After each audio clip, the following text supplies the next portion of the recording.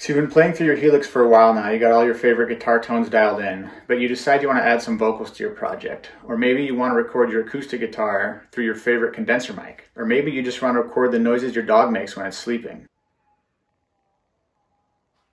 So today I'm going to show you how to actually set up your Line 6 Helix as an audio interface, uh, go through all the steps one by one, kind of get into the nitty gritty of how to actually set the settings to get sounds coming from a microphone, an external microphone, into the Line 6 Helix, through it, and into a computer, into a DAW that you can actually then record and use in whatever project you're working on.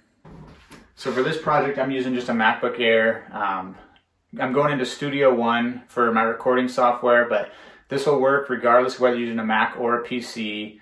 Uh, it'll work regardless of what recording software you're using.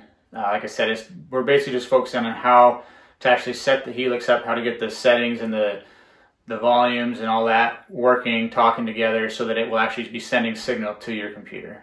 So let's get started. We're just gonna go through this step by step. Obviously to start with, we're gonna turn our Helix on. While that's booting up, we can plug in the microphone we're gonna be using. We're gonna plug the USB cable that was provided with, with the Helix unit into our computer. Um, Gonna adjust a few settings and then we'll be ready to go. So I got Studio One open on my computer. Uh, I got the Helix plugged into our USB connection, but right now if you can see the, uh, the inputs here, it's just working off of my computer's internal microphone. So within your recording software, you are gonna have to go to wherever it is that you can direct which inputs are coming in and you're gonna have to select the Line 6 Helix as your inputs. Um, so on Studio One, I just hit this tab. I go to Preferences. Um, it has an option for playback device and recording device. I'm just going to go down and select Helix Audio. One thing to note here, if you don't have the the software from Line 6, oh, really quick, it's telling me uh, that the sample rate does not match. We can change that later within the, the Helix. Um, but anyways, if you don't have the, the HX Edit software installed, you're gonna wanna go ahead and do this. It looks something like this, HX Edit. Um, when you do that, doesn't matter if you're doing it on a Mac or a PC, it will install the necessary drivers you need to be able to do this. Um, if you don't, there is a chance that the Helix won't be able to talk to the, the audio interfaces within your computer correctly. So if you haven't installed HX Edit, go ahead and do that. That'll automatically get the drivers that you need, and then we can keep going from there. So if you see now, I have Helix recorded. I have my mic plugged in and everything, but there's, there's no signal coming through my mic. So we got to change a few things within the Helix on board that itself, um, and then we'll start seeing some signal. So we're in the Helix. The first thing I'm going to need to do is turn on phantom power to my mic. Um, I'm using a condenser mic, so it requires phantom power. Obviously, if you're not using a mic that needs that, you can skip this step. Something to just remember, you always want to make sure that your mics are plugged into the XLR before you are toggling any phantom power on. But so to do this, we're going to hit the menu button. We're going to go over to global settings, hit that. Um, and we can see here the second button over, mic in 48 volt phantom power. Um, Right now it's off. I'm just going to spin that to on. Um, another thing we're going to want to pay attention to on this global settings screen is the third button over is our mic in gain. Right now it's at zero decibels. Um, I am going to have to come back and dial that up a little bit to get the signal I want through. But for now I'm going to leave that. I'm going to go back to a preset for this. I'm just using a, a basic standard preset, brand new. I haven't done anything to it yet. And I'm going to show you what I changed to get signal coming through. To begin with, we're going to want to go to our input. Right now it's set to multi, so I'm going to hit select, and I'm going to toggle down until I get to mic. See mic right here.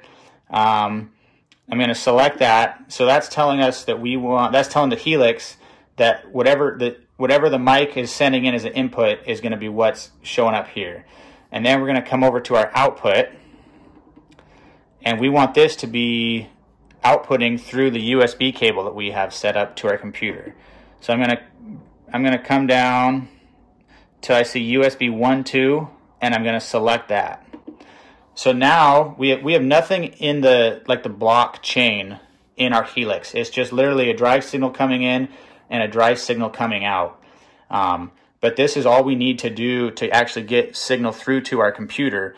Obviously, we can add any internal effects from the Helix that we want. We could add echoes and reverbs and delays and um, anything like that. For the sake of this video, I'm just going to use that dry signal.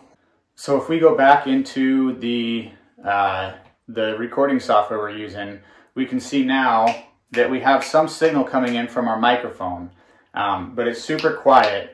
And now, so now we're going to have to adjust that, that input gain setting that I was talking about within the global settings of our Helix.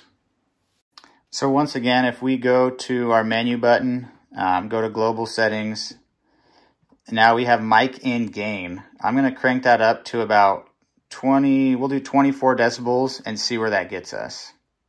One last thing within our global settings, if we go to global settings um, and go over to the last page, it will tell us the sample rate that we'll be recording at. Um, so we're going to want to make sure that this is in line with what the recording software we're using is set to. Um, you have four options, obviously 44.1, 48, the 88.2, and 96. I'm just going to put it at 44.1 for the sake of this, since what I'm recording is not super high quality to begin with. Um, but just be aware that you can change that sample rate within the, the menu settings as well. So you can see now, even just from me talking, the signal coming into the computer is quite a bit higher. Uh, if we were to put a vocalist or an acoustic guitar on this mic, we would have a good enough signal now to record with it.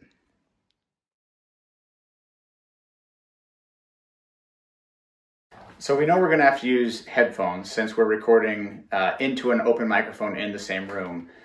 But if we record, if we just plug the microphones into our computer and just listen to the playback through the DAW, we're going to get a little bit of latency just due to the fact that it's you're hearing the signal after it's gone through the DAW. Um, but if we change the settings in our computer to have the sound output going back to our Helix, um, and then we just plug our headphones into the headphone jack on the Helix, we will hear uh, a, a, crisp signal of whatever's coming into the Helix from the microphone with zero latency, and it works as a great setup for monitoring what you're recording as it's going into the uh, recording software on your computer. So that probably made no sense. Let me show you what that looks like. Hopefully it'll clear this up. So we're back at the computer. Obviously, if we are trying to monitor what we're recording, if I just plug headphones into the computer and and listen back through that, it's going to be a little bit delayed because I'm hearing the process signal after it's gone through the recording software. Um, obviously, we can't just plug them to external speakers because we're recording into a microphone if we do that, there's going to be a ton of bleed through from the speakers themselves going back into the microphone. Um, we might even get feedback from that. So what I'm going to do here is I'm going to go to um, I'm going to go to our system preferences. So on a Mac, it's just that gear. Um, on a PC, I believe it's control panel, and I think it's sound and hardware. If you go to that, there will be an option to control what channel your sound is playing through. Um, so on a Mac here, I'm going to hit sound. And since I have those drivers installed with HX Edit, I can select Helix Audio as the sound output for my computer.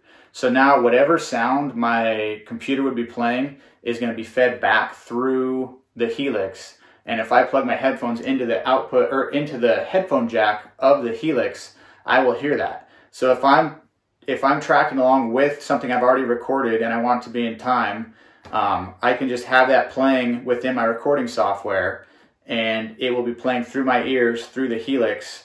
While I'm playing my instrument or singing, the microphone is only going to be picking up the room sound, not what's coming through my headphones, um, thus keeping the tracks separate and clean. So I realized I just covered a ton of different steps Hopefully that kind of cleared up how you can use your Helix as an audio interface. Any questions you have, just leave them in the comments below. I will put a link to another video um, up in one of the corners here. Uh, it's another video on YouTube that goes into more depth on how you can use the Helix to do multi-tracking so you can have multiple inputs and outputs all being recorded through there and a little bit more in depth onto how to set up your DAW. Um, as well. So if you have questions about using it to a more uh, in-depth extent, definitely check out that video. Um, but yeah, like I said, hopefully this helps clear stuff up. If you have any questions, like I said, just leave them below. Hopefully you enjoyed watching this. We will see you guys in the next video.